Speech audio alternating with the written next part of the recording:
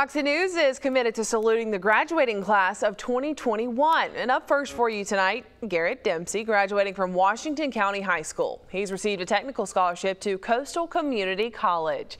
Congratulations also in order for Tyson Moorer.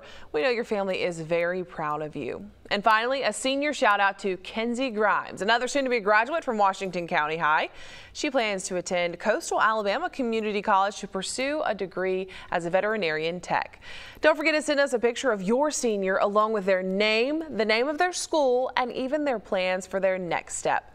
Just go to our website, fox10tv.com, click on the submit photos or videos tab of the drop down menu. Remember, we can't use those professional pictures. We're going to be showing all of your pictures during our newscast.